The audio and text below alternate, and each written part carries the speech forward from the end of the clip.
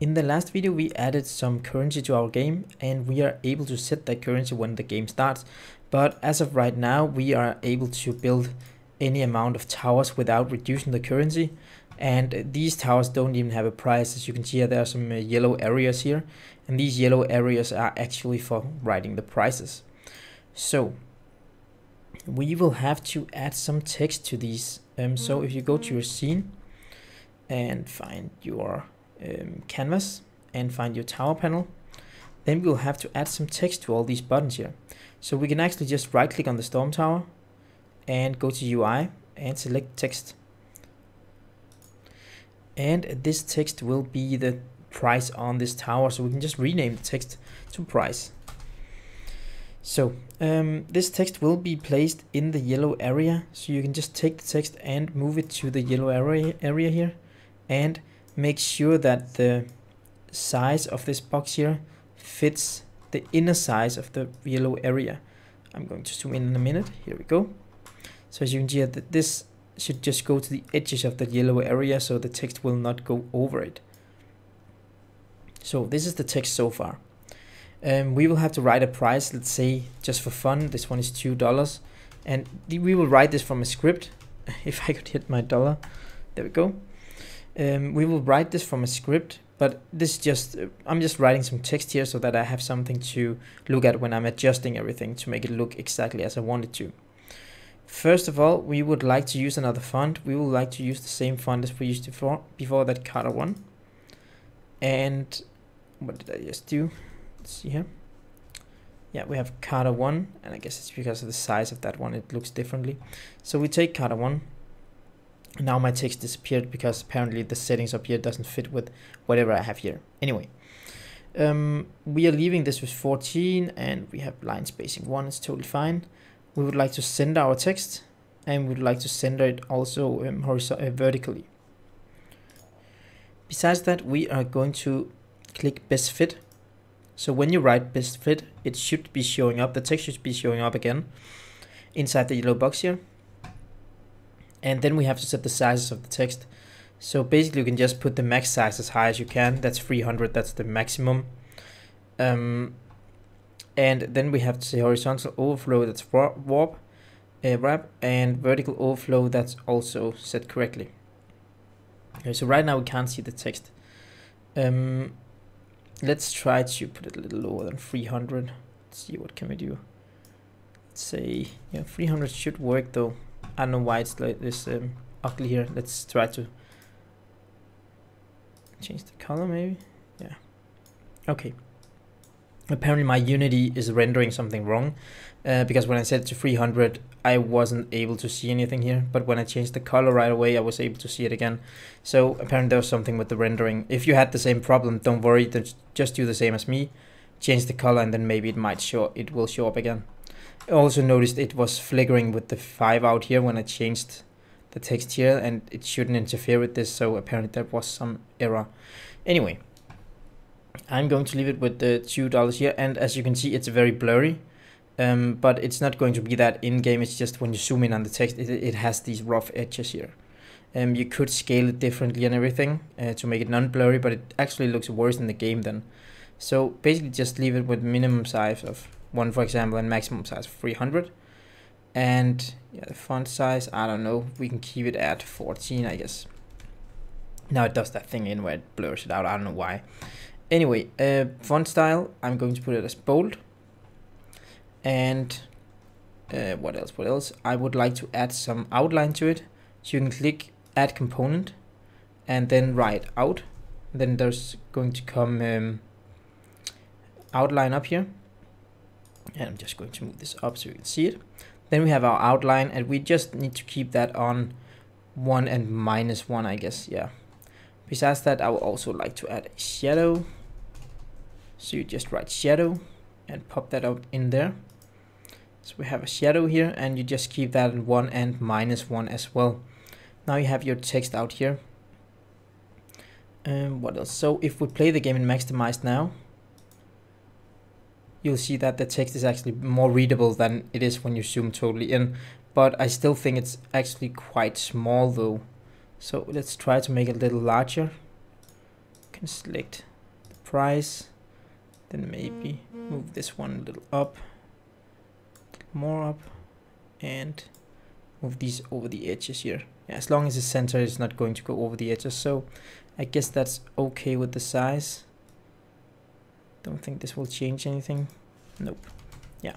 So you can just make the box a little larger if you want to because I think if you make this scale larger sorry if you make that scale larger then it's going to be more blurry. So just keep the scale at a maximum one uh, in X and maximum one in Y here. Okay so let's try to play it again. Let's see. Yeah this looks a lot better. So just make the box with the price the same size as the gray area instead of the yellow area if you want it a little larger here. And then keep yeah the values um, like this. So you have uh, 300 max size and one minimum size. Then 300 is the maximum at all. So it fits your screen uh, resolution. Anyway that was the price for that one. Now we just need to move it to the others as well. So you can right click on the price duplicate and move it to the frost button then you can take the price up here and move it down here. And center it. Like so. Mm, yeah. There we go. And then you can duplicate again. Right click duplicate move it to the fire button. And just move it down here. Like so and then make sure that it's kind of centered good as you can. You can always adjust these by taking these and making them a little larger if you want to. And then duplicate one more time and move it to the poison button. Remember to move it in the hierarchy and move it in the actual scene as well. There we go. Now you can see the two lower ones are better size because they go exactly to the edge of this. So we need to do the same with the frost button. It's not totally at the edge. Now it is. Now it is, and the same goes for the storm button here. Now it is, and there it is. Okay, so now we have the prices. So when you maximize, you should be able to see a price on all these um, these buttons over here. And you can always change the outline. You can move the outline. You can move the shadow and and all these things and play around. Maybe you don't want it bold. Maybe you want it like to be normal size and everything. You can always set it set it set it exactly as you want it. Okay, so that's uh, the visual part. Now we'll need to write some scripts that actually uses this currency and that sets the currency from the script instead of us just writing it out here uh, on the text here because we need an actual value in our game. So let's open up our script, find the scripts and find the tower button because we need to add a, a price to the script so that we can set it from um, the actual script here. So let's see, we have a lot of fields in here. So we'll have to create a new price. So we can simply just write private int price. So this is going to be our price. And let's just be able to set it from our um, our inspector here. So it makes it easier for us. So this is the price and this is how much the tower is going to cost. We will have to set the text. Um, so underneath you write, write private text and right click quick actions using UnityEngine.UI. You should be familiar with this with this now. If you can't do that, then just go up and right using UnityEngine.UI. And you can see it's not used right now, but it will be in a few seconds. Text, um, let's call it price text. There we go. So now you can see it lights up up here because we're actually using it for something. Okay, we need a reference to the text, so we are also going to refer uh, reference, yeah. We're going to serialize this field and when you save that and jump back into Unity, then you'll see that each button now has a um, has a price text on it as a component or as, a, as an option here. So each button needs its own price. Um, we can set it like this or we could also script it so that we actually just find the first child and put it as a um, what is it called as a um, reference but let's just do it the easy way here by dropping everything like this taking the storm button, selecting it, taking the price on the storm button, dragging it here, doing the exact same thing for the next button. Sorry, click the button and take the text and move it to the text field. I know you can't see these, but it's exactly the same thing as I did for the first one. So when you have taken all of them and put uh, a reference between the button and their price, well, then we can go back in um, script and we can set uh, the, the actual text here. So the text just needs to be set in start. So we can just write private void start. Go. And here we say text uh, price text. That's what I call it. Uh, dot text equals price plus and then that dollar sign I never can hit. Way I did it. Okay. Maybe later we'll have to reach this from somewhere else so we might make it into a property. But for now um, let's just do like this. Let's see. Give me one sec yeah we might have to make it into a property later but uh, let's wait for that until we need to upgrade the towers and stuff. So for now just just keep it like this. So now when we start the game we set that text on the button. The text we see right here this text we set it equal to whatever is written in the script here. So it will be equal to the price set right here Mm -hmm. So every time we, on each button, we actually set the price for the tower. So each button knows how much the tower it can produce costs. So we um, delegate the that um, price or price managing from the game manager instead of having it in the game manager and have, having to write tower, uh, storm tower equals that and frost tower equals that. Well, then we just make sure that each button knows what it costs. And then we'll have to make sure to update that price every time we upgrade a tower or every time we lose some uh, some uh, currency or something. We don't have to update the price, we have to check if the price of the tower is larger or equal to the actual amount of money we have. But we will get to that. So let's just set the prices on all towers. Select your poison tower, for example. And these are just the price that I've come up with. Uh, you can use whatever price you want. Poison tower, I will put that at 5 we have our fire tower and I put my fire tower at 4 uh, if I could find it down here 4 put the price at 4 frost button uh, frost tower that's a 2 and my storm tower is also a 2 so you just have to put the price in each of them. So now you you'll see see when we play the game the price doesn't reflect. I forgot to save I think. Let's see let's try to save. And did I even yeah I did. So if we run the game again. There we go. So now the prices actually reflect what I um, actually um, what's it called? What I actually set them to on the script. I can try not to maximize to make you see this.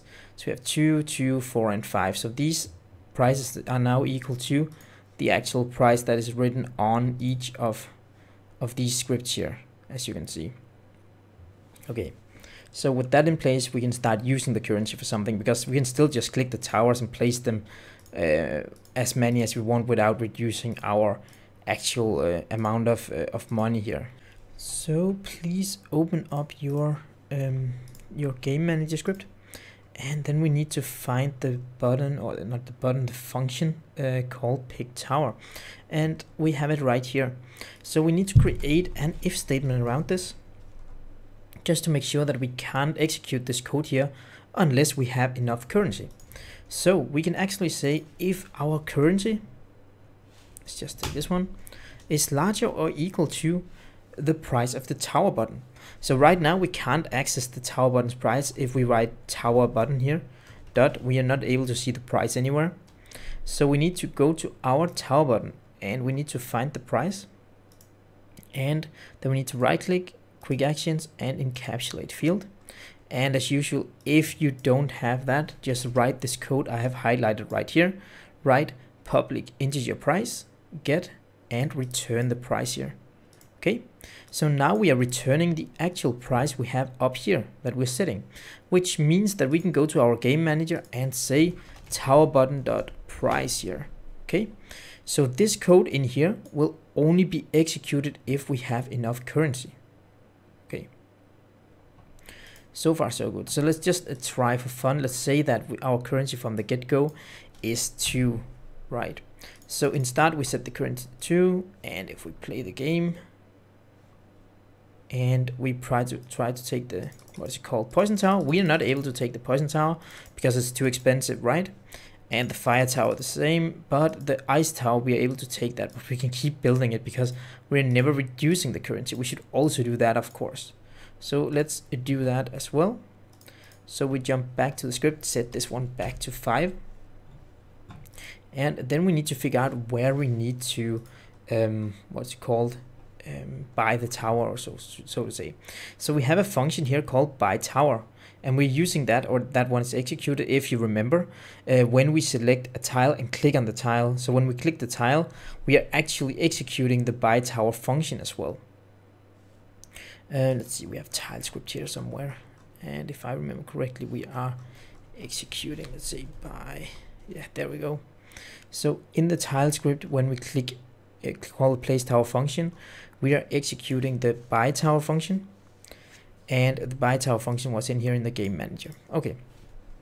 So first of all when we try to buy a tower we also would like to check if the currency is uh, is correct so we make an if statement here just if if we had some reduction of our money while we were carrying around the tower for example um, then we would like to check up on it before we place it as well so if our currency is larger or equal to clicked button dot price.